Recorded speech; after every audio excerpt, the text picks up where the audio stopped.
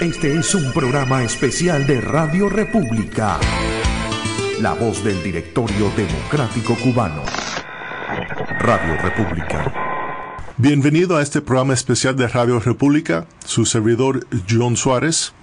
El año 2014 es un año importante para recordar al reverendo Martin Luther King, hijo. Es el 50 aniversario de la entrega del Premio Nobel de la Paz y de par de discursos importantes que dio durante este año. Y en este programa especial vamos a enfocar en algunos extractos del discurso de la lectura que dio el 11 de diciembre de 1964 y tener la reacción de miembros de la resistencia cívica dentro de Cuba, en diferentes partes de la isla, y en conclusión escuchar un extracto pequeño de, de, la lectura actual de esa fecha 11 de diciembre de 1964 en Oslo, en Noruega. La violencia es poco práctica porque es una espiral descendente que termina en destrucción para todos. Es inmoral porque busca humillar al oponente en vez de hacerlo entender. Busca aniquilar en lugar de convertir. La violencia es inmoral porque acrecienta con fuerza el odio en vez del amor. Destruye la comunidad y hace imposible la hermandad. Deja la sociedad en monólogo en vez de en diálogo. La violencia termina derrotándose a sí misma, produce amargura en los sobrevivientes y brutalidad en los destructores. La no violencia es un arma poderosa y justa. De hecho, es un arma única en la historia, pues corta sin herir y ennoblece al hombre que la empuña. Reverendo Martin Luther King, hijo, lectura del Premio Nobel el 11 de diciembre 1964.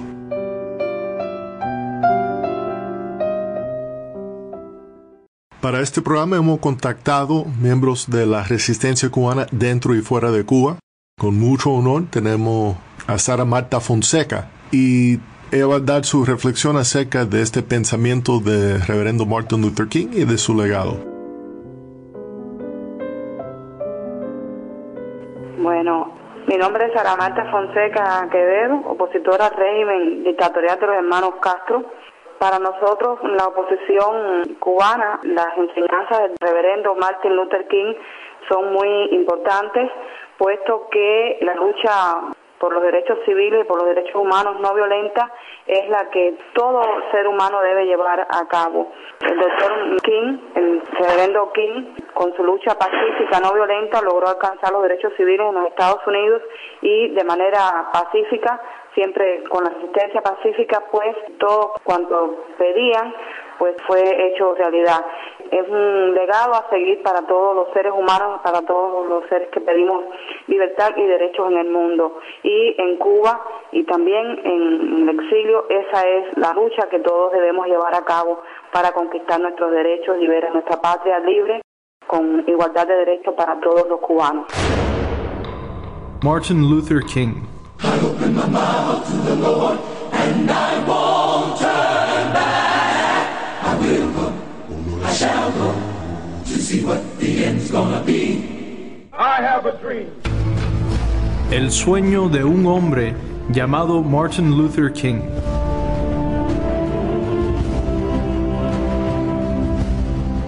Lo preocupante no es la perversidad de los malvados sino la indiferencia de los buenos, de los buenos.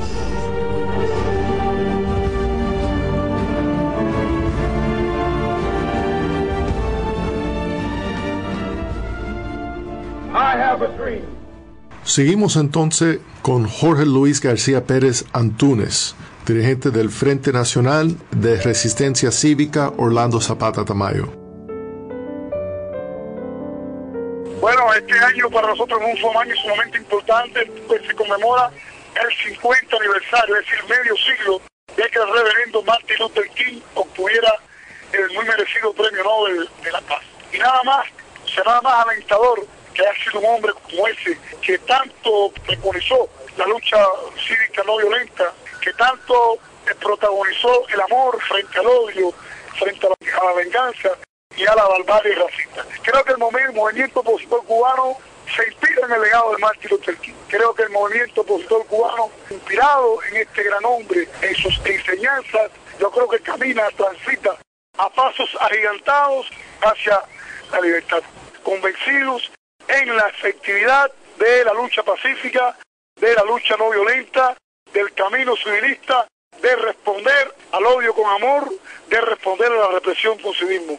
Martin Luther King, al igual que Rosa Parks, al igual que Gandhi, al igual que todas aquellas personas, han marcado un hito y son una leyenda, una inspiración y un estímulo para la fuerza de la resistencia cubana. Jorge Luis García Pérez Anturi, Frente de la Resistencia, Orlando Zapata Ramallo.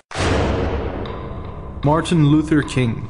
I open my mouth to the Lord and I won't turn back. I will go, I shall go to see what the end's gonna be. I have a dream. El sueño de un hombre llamado Martin Luther King. Los hombres oprimidos no pueden seguir estándolo de por vida. El anhelo de libertad acaba por manifestarse abiertamente, abiertamente, abiertamente.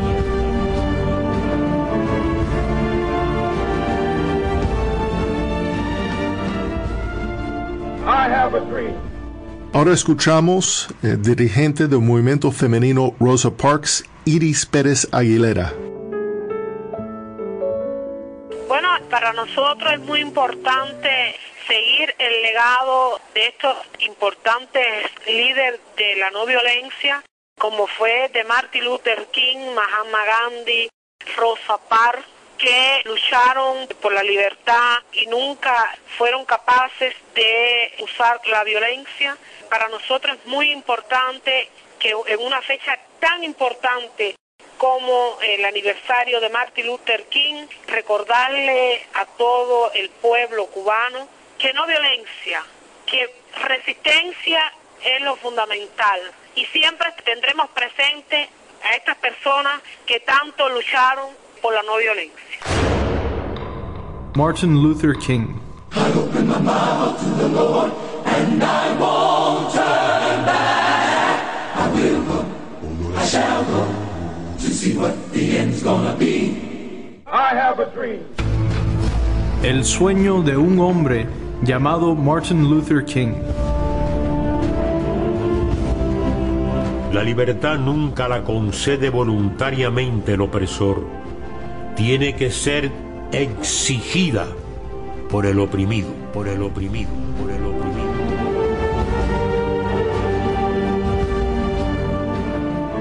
I have a dream.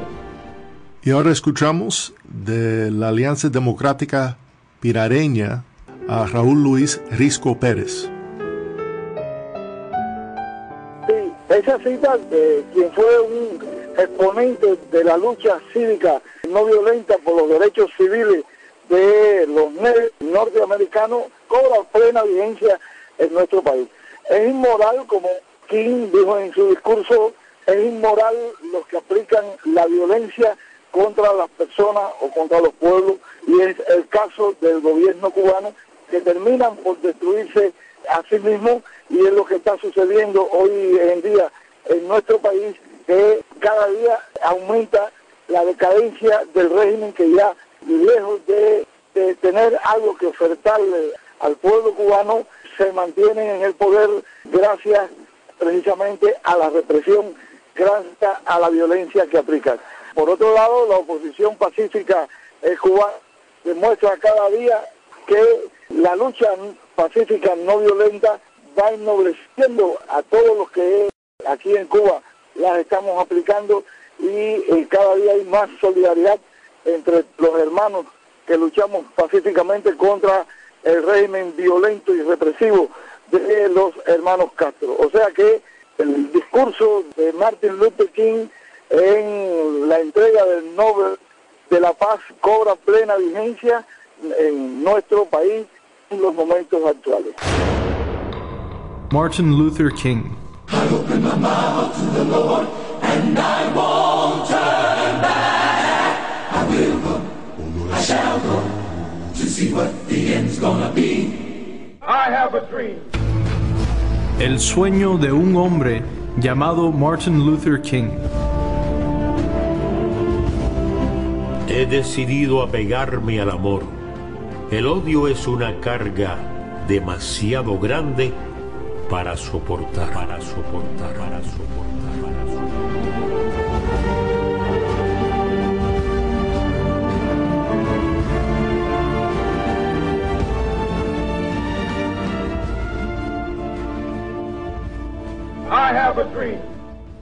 Vamos a escuchar un fragmento de la lectura del Premio Nobel de la Paz, el reverendo Martin Luther King, el 11 de diciembre de 1964.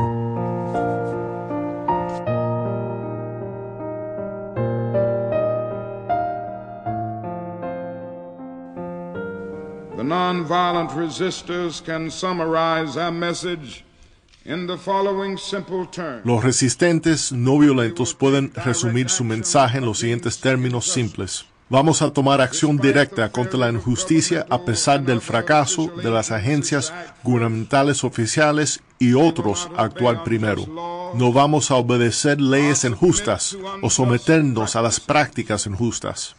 Haremos esto pacíficamente, abiertamente, con alegría, porque nuestro objetivo es persuadir. Adoptamos el medio de la no violencia porque nuestro fin es una comunidad en paz consigo mismo. Vamos a tratar de persuadir con nuestras palabras, pero si nuestras palabras fallan, vamos a tratar de convencer con nuestros actos. Siempre vamos a estar dispuestos a hablar y buscar un compromiso justo, pero estamos dispuestos a sufrir cuando es necesario, incluso arriesgamos nuestras vidas para ser testigos de la verdad tal como lo vemos. Esta aproximación al problema de la injusticia racial no es en absoluto sin precedente exitoso. Fue utilizado en una forma magnífica por Mohandas K. Gandhi para desafiar el poderío del imperio británico y liberar a su pueblo de la dominación política y la explotación económica que les fue infligida a ellos durante siglos. Luchó solo con las armas de la verdad, la fuerza del alma, la falta de daño y el coraje. He struggled only with the weapons of truth, soul force, non-injury and courage.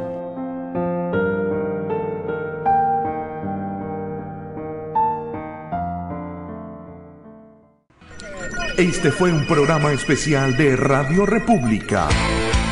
La voz del directorio democrático cubano. Radio República.